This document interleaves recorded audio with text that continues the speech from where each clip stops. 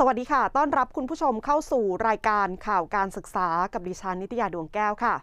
คุณผู้ชมคะในโลกสังคมปัจจุบันมนุษย์ต้องเผชิญปัญหาภาวะภัยพิบัติ และวิกฤตสถานการณ์ต่างๆ มากมาย เป็นผลกระทบในวงกว้าง โดยเฉพาะเด็กและเยาวชนที่ยังไม่มีรายได้ มีอีกหนึ่งมหาวิทยาลัยค่ะ ที่ให้ทุนช่วยเหลือฉุกเฉินแก่นักศึกษาที่ได้รับผลกระทบต่างๆ เหล่านี้ วันนี้เราจะร่วมพูดคุยกัน กับผู้ช่วยศาสตราจารย์ สมชายเวชกรรม รองอธิการบดีฝ่ายกิจการนักศึกษา และสิทธิ์เก่าสัมพันธ์ มหาวิทยาลัยเทคโนโลยี พระจอมเกล้าพระนครเหนือ สวัสดีค่ะ ครับ สวัสดีครับนะครับ คุณนิตยาแล้วก็ผู้ชมทุกท่านนะครับ ผมผู้ช่วยศาสตราจารย์สมชายเวชกรรม รองอธิการบดีฝ่ายกิจการนักศึกษา และสิทธิเก่าสัมพันธ์มหาวิทยาลัยเทคโนโลยีพระจอมเกล้าพระนครเหนือนะครับค่ะ ในช่วงภาวะวิกฤตในสังคมปัจจุบันแบบนี้ไม่ว่าจะเป็นเรื่องของโรคโควิด -19 หรือภัยพิบัติต่างๆ เหล่านี้ ทางมหาวิทยาลัยเทคโนโลยีพระจอมเกล้าพระนครเหนือ มีมาตรการในการช่วยเหลือนิสิตอย่างไรบ้างคะครับ โดยปกติแล้วเนี่ยเอ่อในเมื่อสถานการณ์ปกติ ถ้าหาก เกิดภัยพิบัติต่างๆ เนี่ยมหาวิทยาลัยเนี่ยเรามีมาตรการในการช่วยเหลือนักศึกษาอยู่แล้วนะครับไม่ว่าจะเป็นเรื่องของเกิดไฟไหม้น้ำท่วมพายุ หรือว่าผู้ปกครองได้รับผลกระทบทางเศรษฐกิจโดยฉับพลัน อันนี้ทางมหาวิทยาลัยได้เตรียมเรื่องของการช่วยเหลือไว้ โดยโดยปกติเนี่ย เมื่อมีเรื่องเร่งด่วนเนี่ย เราก็จะหาทุนช่วยเหลือนะ ไปเบื้องต้นก่อนเลย ก่อนที่เขาจะได้รับการช่วยเหลือต่อไปสำหรับสถานการณ์ปัจจุบันนี้นะครับ เราได้เกิดภาวะที่เป็นเรื่องของภัยพิบัติ แล้วก็วิกฤตเอ่อการระบาดของไวรัสโคโรนาแล้วก็เอ่อเมื่อเร็วๆนี้ก็เกิดเหตุวิกฤตในเรื่องของการระเบิดที่โรงงานไฟไหม้ที่เอ่อกิ่งแก้วสมุทรปราการนะครับ อันนี้เราก็ได้มีมาตรการช่วยเหลือค่ะเอ่อนักศึกษาทั้งสองรายการครับ ค่ะ ในเรื่องของการแพร่ระบาดของโควิด -19 ตรงนี้เองทางมหาวิทยาลัยมีการช่วยเหลือนักศึกษาอย่างไรบ้างคะ ครับ คืออในภาวะวิกฤตช่วงตั้งแต่เรามีนักศึกษาได้ติดโควิดนะครับ ตั้งแต่ปีที่แล้วเนี่ยมหาวิทยาลัยก็ได้มีมาตรการในการช่วยเหลืออโดยมีการลดค่าเทอม มีการลดค่าหอพัก และมีการจัดตั้งกองทุนสวัสดิการนักศึกษา ซึ่งจะเป็นเรื่องของการรักษาพยาบาลค่ะในกรณีที่นักศึกษาติดโควิด -19 นะครับเอ่อรายละเอียดตรงนี้ก็ผมขออนุญาตเอ่อชี้แจงนิดนึงว่าเอ่อเมื่อนักศึกษาได้รับผลกระทบหรือว่าได้รับการเอ่อติดเชื้อจากโควิด เนี่ยเขาก็จะแจ้งมาที่หมหาลัยหมหาลัยก็จะเอ่อติดตามในในเรื่องของการเข้ารักษาตัว และเมื่อเขารักษาตัวแล้วเนี่ย เราก็จะมีการจ่ายเออเราเรียกว่าค่ารักษาพยาบาลที่เบิกไม่ได้จากแหล่งแหล่งนั้นอื่นเนี่ยเออไม่เกินหนึ่งหมื่นบาท แล้วเราก็จะให้ความช่วยเหลืออีกห้าพันบาทนะครับ ส่วนเรื่องของการลดค่าเทอมนะครับ เรามีการลดค่าเทอมให้ตั้งแต่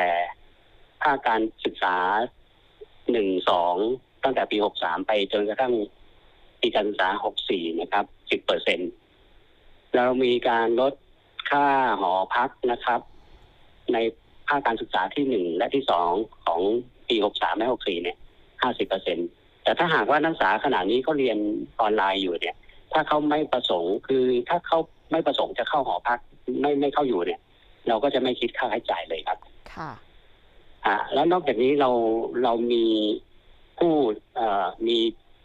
ใจบุญนะครับ หรือว่าคณะต่างๆ เนี่ยเขาก็พยายามเจียดเงินรายได้ที่เป็นค่าเทอมต่างๆ ที่ลดไปแล้วเนี่ย เอามาตั้งเป็นเขาเรียกว่าเงินช่วยเหลือนักศึกษาที่ผู้ปกครองได้รับผลกระทบจากการแพร่ระบาดของการติดเชื้อไวรัสโคโรนานะครับ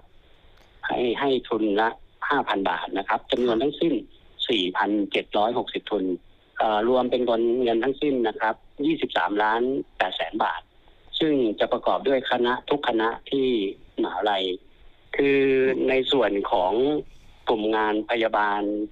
และสุขภาพเนี่ย เราจะตั้งศูนย์ที่ให้คำปรึกษา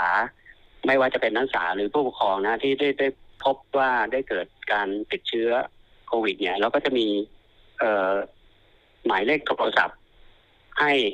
เพื่อติดต่อเข้ามานะครับ ทั้งโทรศัพท์และทั้งเเพจ Facebook โทรศัพท์ก็อาจจะโทรเข้ามาในช่วงเวลาราชการ นอกจากนี้แล้วถ้าเขายังมีเรื่องของการติดต่อนอกเวลาราชการเนี่ยก็อาจจะอินบ็อกเข้ามาทางเพจ Facebook Facebook ได้ครับค่ะค่ะครับนอกจากสถานการณ์ของโควิด -19 แล้วเนี่ย ก็ยังจะมีเรื่องของไฟไหม้โรงงานผลิตเม็ดโฟมที่ซอยกิ่งแก้ว 21 ตรงนี้เองทางมหาวิทยาลัยมีการช่วยเหลือนักศึกษาอย่างไรบ้างคะ ครับ ตอนนี้ทางมหาวิทยาลัยเนี่ยได้รับทราบเอ่อ ในช่วงที่เกิดเหตุไฟไหม้ที่โรงงานซอยกิ่งแก้ว 21 นะครับค่ะจังหวัดสมุทรปราการเนี่ย เราก็เอ่อประชาสัมพันธ์ให้กับนักศึกษาโดย นักศึกษาสามารถส่งข้อข้อมูลเรื่องของผลกระทบเอ่อมาทาง QR code ที่เราเอ่อเผยแพร่ไปทางประชาสัมพันธ์ทางเอ่อเว็บไซต์หมหาวิทยาลัยหรือ Facebook ของหน่วยงานต่างๆ เนี่ย นักศึกษาที่มีผลกระทบ เราก็จะไปสำรวจว่านักศึกษาที่อยู่ในรัศมีประมาณ10กิโลเมตรอะที่พักที่อยู่เนี่ย ได้รับผลกระทบอย่างไร ก็ให้ส่งข้อมูลเข้ามา ซึ่งแบบฟอร์มข้อมูลนั้นจะเป็นการลงทะเบียนให้การการช่วยเหลือ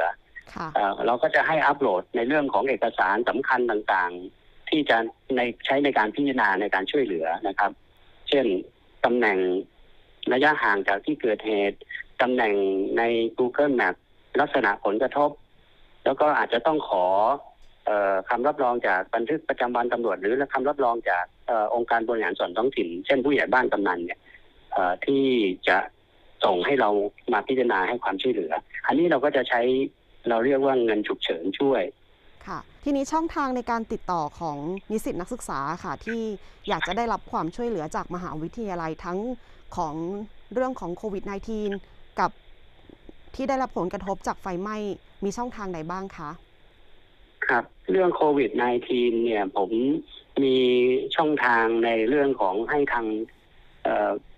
กองกิจการนักศึกษาเนี่ยทั้งสามวิทยาเขต โดยกลุ่มงานบริการสุขภาพเนี่ย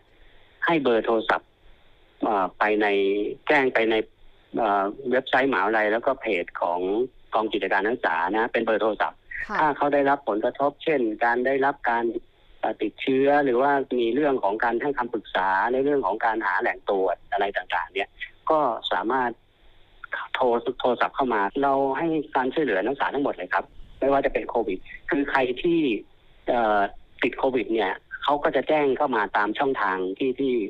เอเรามีช่องทางให้เขาแจ้งอาจารย์ที่ปรึกษาอาจารย์ที่ปรึกษาก็จะแจ้งมาทางมหาวิทยาลัยเราก็จะเลคคอร์ดตรงนี้ไว้หมดเลย แล้วเราก็จะให้การช่วยเหลือทั้งหมดนะครับ อันนี้สำหรับโควิดนะครับ ทั้งนักศึกษาและก็ บุคลากรครับ ค่ะ ค่ะ ต้องขอขอบคุณผู้ช่วยศาสตราจารย์ สมชายเวชกรรม รองอธิการบดีฝ่ายกิจการนักศึกษา และสิทธิ์เก่าสัมพันธ์ มหาวิทยาลัยเทคโนโลยี พระจอมเกล้าพระนครเหนือ ที่ร่วมพูดคุยกับเราในวันนี้ค่ะ